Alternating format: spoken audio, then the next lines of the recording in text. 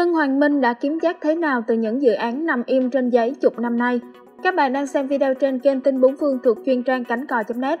Vừa qua, Tổng Bí thư chỉ đạo xử lý nghiêm vụ Việt Á, vụ cục lãnh sự trục lợi người dân về nước do Covid, vụ chứng khoán và điều tra sai phạm về giá đất, thì các vụ đều được triển khai rất nghiêm túc, bắt cơ số người vi phạm pháp luật.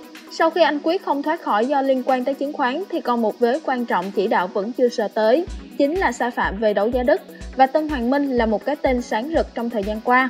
Không phải tự nhiên mà trong đơn xin đơn phương chấm dứt hợp đồng mua đất đấu giá, ông Đỗ Anh Dũng gửi cho cả Tổng Bí thư lẫn Bộ trưởng Bộ Công an và toàn lãnh đạo ở cấp cao nhất. Vì nếu chỉ đơn phương chấm dứt một hợp đồng kinh tế thì đã có quy định theo luật đấu giá, chỉ cần gửi đến cơ quan chức năng là đủ, cần gì phải viết những thứ đào to búa lớn nhưng sáo rỗng như vậy.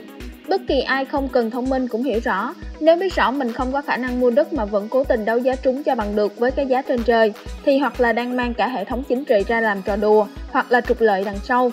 Theo báo cáo của Hiệp hội Thị trường Trái phiếu Việt Nam, trong tháng 12 năm 2021, sau khi gây chấn động với việc đẩy giá trúng thầu lên ở mức cao không tưởng, nhóm công ty tham gia đấu giá đất ở Thủ Thiêm đã vay trái phiếu khoảng 14.320 tỷ đồng trong khoảng nửa năm 2021, dù trái phiếu bất động sản đang bị siết chặt. Ngoài ra, tập đoàn Tân Hoàng Minh còn phát hành 9 đợt trái phiếu riêng lẻ.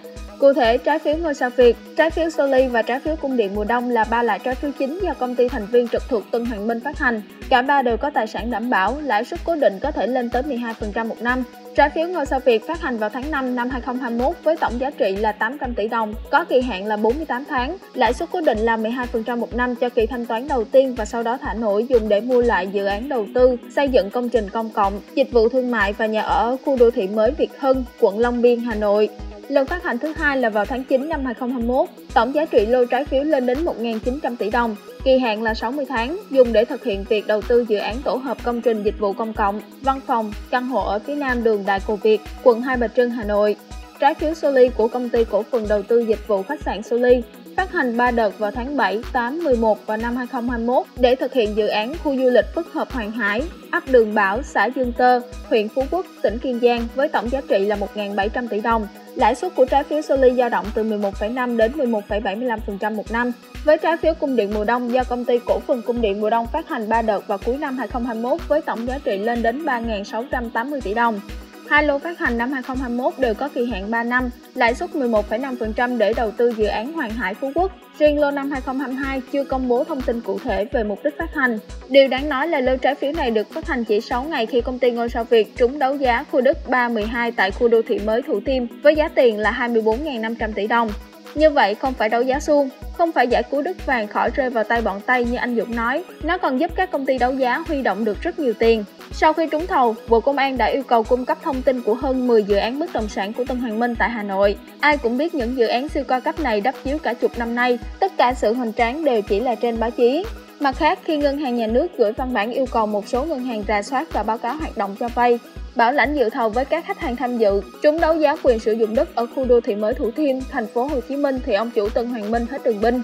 Ngày 21 tháng 12 năm 2021, Thủ tướng Chính phủ đã ban hành công điện 1767 về tình hình thực hiện đấu giá quyền sử dụng đất trong thời gian qua. Thủ tướng yêu cầu khẩn trương ra soát, kiểm tra hoạt động tổ chức đấu giá quyền sử dụng đất đối với những trường hợp có biểu hiện bất thường, không để xảy ra trục lợi, đồng thời xử lý nghiêm hành vi lợi dụng đấu giá đất gây nhiễu loạn thị trường.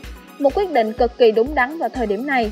Tân Hoàng Minh dù đã nhận được tiền từ các trái chủ nhưng Ủy ban chứng khoán nhà nước đã quyết định hủy kết quả. Đây là việc chưa từng có tiền lệ. Với quyết định này, các tổ chức đăng ký lưu ký trái phiếu phải dừng chuyển quyền sở hữu của các trái phiếu thuộc Tân Hoàng Minh trong 9 đợt chào bán này. Sở Giao dịch Chứng khoán Hà Nội được giao công bố thông tin hủy các đợt chào bán trái phiếu. Có lẽ đây chỉ mới là khởi đầu. Theo quy định, doanh nghiệp phát hành không tuân thủ quy định, tùy theo tính chất và mức độ vi phạm sẽ bị xử phạt hành chính hoặc truy cứu trách nhiệm hình sự. Tân Hoàng Minh vi phạm ở cấp độ nào? Ai là người hưởng lợi trực tiếp từ việc tăng giá phi mão quanh khu đất đó? Có liên quan gì tới Tân Hoàng Minh? Chờ hồi sau sẽ rõ. Đất nước này đã có quá nhiều đại gia nước bọt, chém gió để lũng đoạn kinh tế, đã đến lúc phải dọn dẹp bớt.